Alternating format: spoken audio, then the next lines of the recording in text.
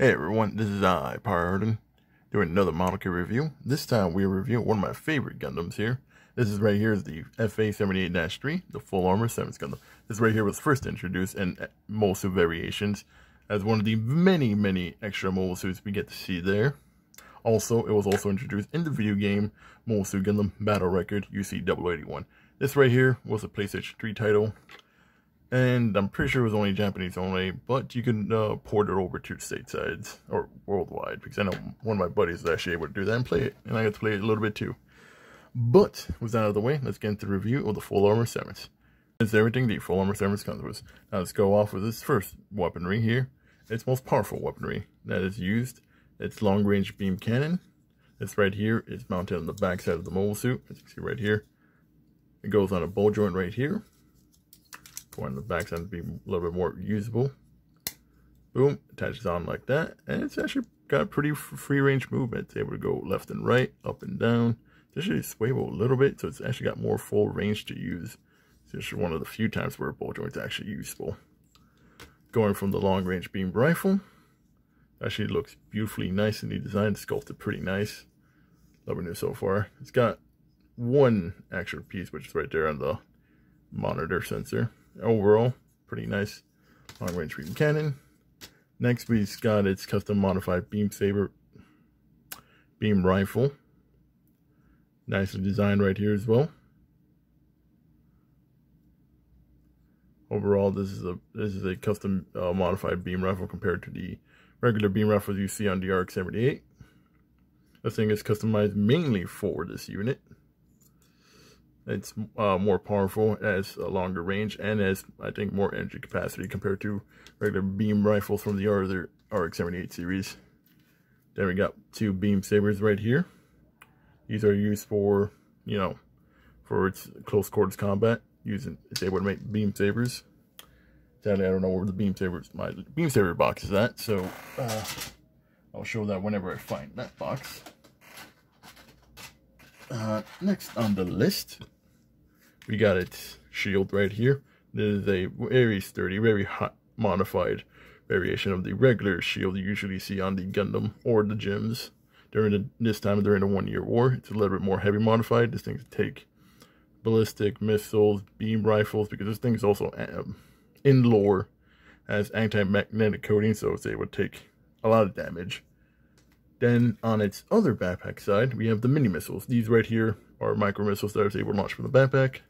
See right here, goes right here in this peg right here. Attaches no problem. It's able to go up, down. It's able to swivel pretty nice. Not that far off as you would, would but it is a missile launcher, so it is, it's fine as is.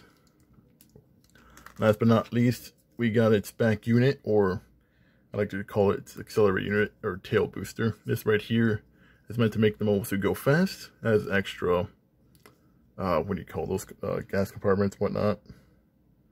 Or you would call this an AMBAC device. It's able to make the uh, uh full armor severance uh, acceleration go fast in space. It's got three thrusters, you can see right here. Big one right here and two side ones right here with the extra storage for the gas on these sides right here. Overall, that is it. Everything that the RX-78 RX-78-3, the 7th Gundam comes with.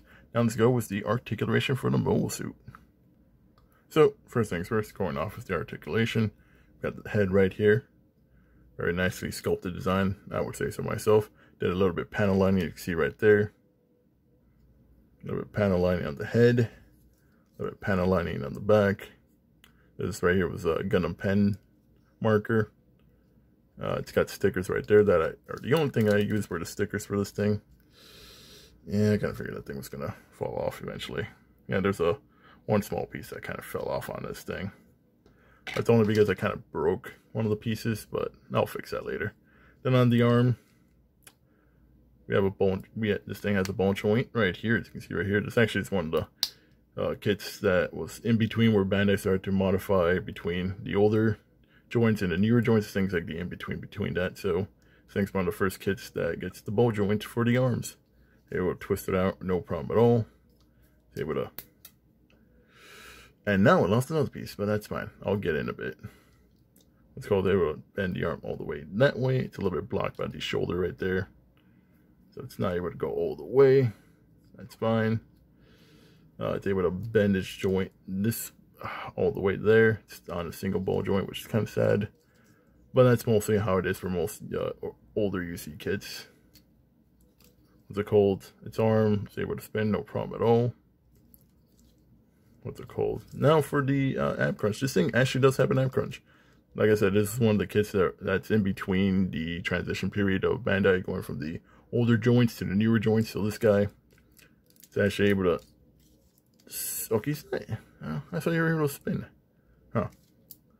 I guess. Oh, okay, he's not able to spin because it's kind of blocked by this piece right here, which is actually trying to make the back waist piece actually come off. So it's not able to spin all the way. That's actually kind of sad thing, but it's still got an ab crunch. Not the ones you like how modern ones have, but still pretty nice.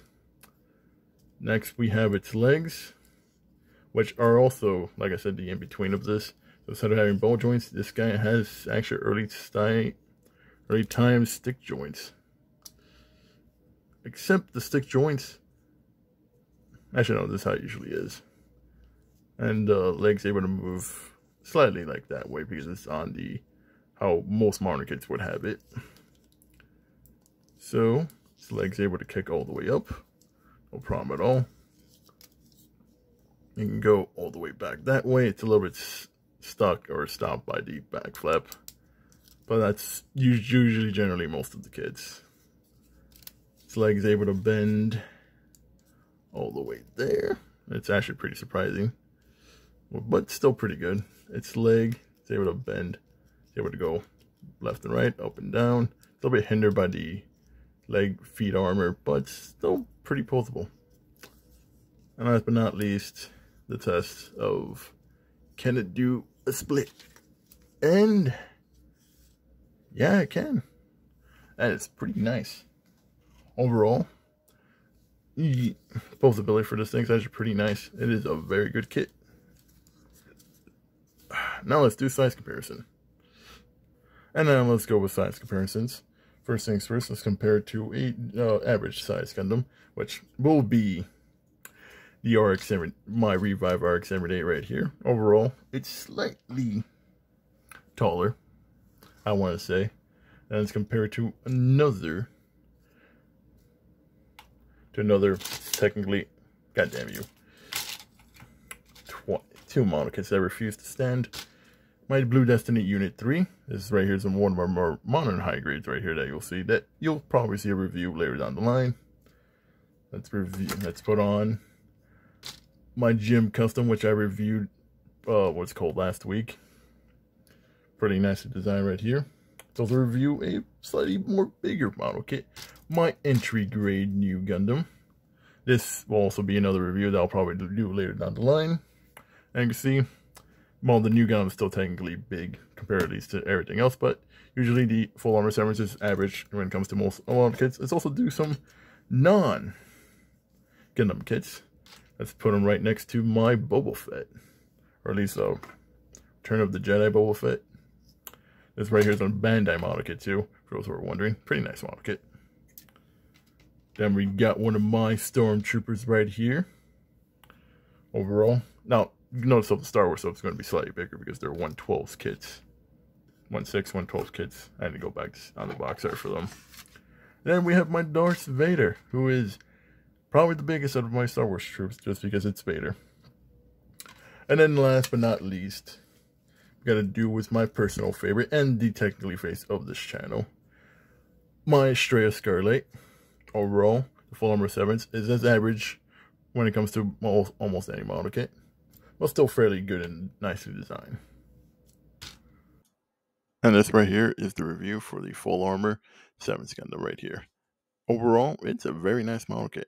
It may be a very old model kit, but this thing right here is still can still keep up with the newer ones. I mean, this thing right here was built, I'm pretty sure it was built in the in-between where Bandai was switching from the older joints to the newer joints. As you can see over here, the arms and legs, the legs having the new uh, peg joints, or the arms having the ball joints, and then also have an ab crunch for the torso. It's right there in the modernization to most high grades Uh, what's it called? Color separation is pretty nice in design. It says game accurate as possible because it's not in the anime. Right here, this is a game slash book collection since it is also from also variations going into video game. Uh, what's it called? Equipment, uh, weaponry. It comes actually pretty nice. It's got a beam cannon, beam rifle, two beam sabers. It comes with two beam blades. Uh, what's it called? Posability is pretty nice. That's the thing I love about it. Uh, what's it called? Posability is pretty great. You can do as many poses as you can. It's right up there with a lot of the most modern high grades overall. Uh, I would give it a pass and what's called if you want to get it. This right here is one of the model kits where I kind of struggled and wanted to get it. Eventually, I did get it, and it's good because it's a really great model kit. Uh, what was called? If you see it, I would recommend getting it. But with that out of the way, Desai Pyro Arden signing out, and I'll see you guys on the next one.